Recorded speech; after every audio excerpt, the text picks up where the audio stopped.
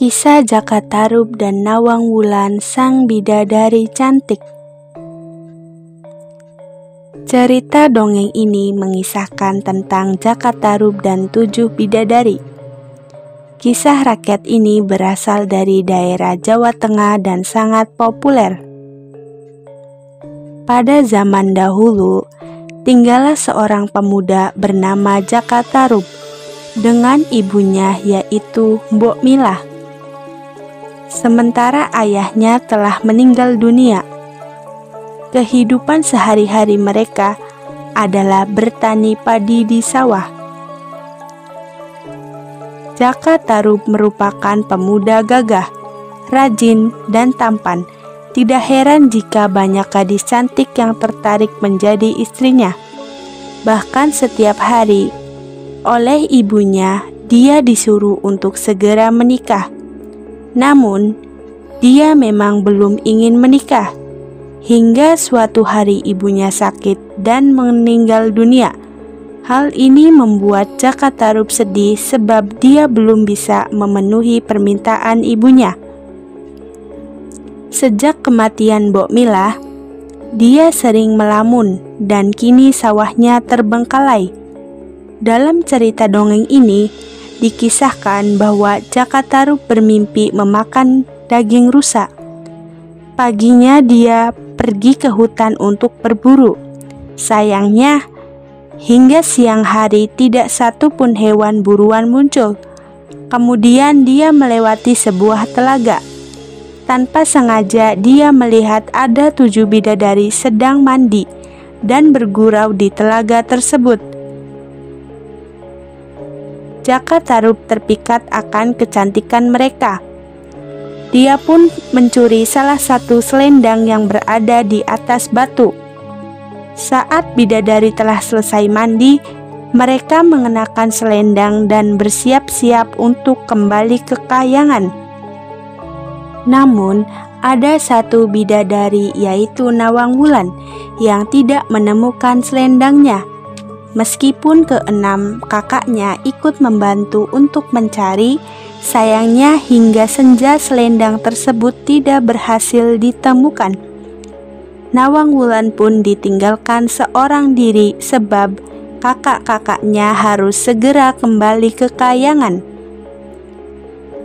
Tidak berselang lama, Jakatarub datang kemudian berpura-pura ingin menolong bidadari tersebut dia mengajak Nawang Wulan untuk ke rumahnya.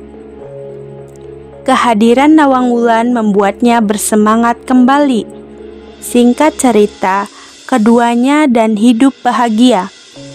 Mereka juga dikaruniai putri cantik yaitu Nawangsi.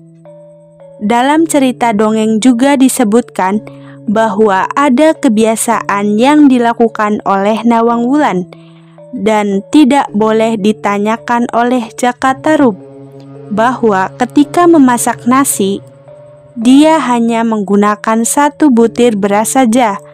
Namun Jakatarub penasaran dan dia membuka panci yang digunakan untuk memasak nasi. Dia melihat ada setangkai padi yang masih utuh. Kemudian Jakatarub menutup panci itu kembali Akibat dari rasa penasaran ini, Nawang Wulan kehilangan kekuatannya. Sejak itu, untuk memasak nasi, Nawang Wulan harus menumbuk serta menampi beras layaknya wanita pada umumnya. Suatu hari, dikisahkan dalam cerita dongeng ini, Nawang Wulan menemukan selendang bidadarinya di antara tumpuan padi. Dia merasa marah. Ternyata suaminya yang mencuri selendangnya. Merasa ditipu, dia pun memutuskan untuk kembali ke aslinya. Jakataru memohon maaf serta meminta agar istrinya tidak pergi. Sayangnya, tekad Nawang Wulan sudah bulat dia tetap pergi ke kayangan dan sesekali akan turun ke bumi untuk menyusui anaknya. Sementara Jakatarup tidak diperbolehkan bersama Nawangsi saat dia di telaga. Hal ini membuat Jakatarub semakin sedih sebab tidak bisa berjumpa lagi dengan Nawang Wulan. Dia pun menyanggupi persyaratan dari Nawang Wulan. Kini Jakatarub tidak bisa melakukan apa pun selain merawat Nawangsi. Itulah cerita dongeng Jakatarub dan Nawang Wulan yang berakhir menyedihkan. Pesan moral dari kisah dongeng ini adalah untuk menepati janji yang sudah dibuat, sebab jika tidak, maka keburukan yang akan datang. Terima kasih yang sudah menonton. Jangan lupa like, komen, dan subscribe.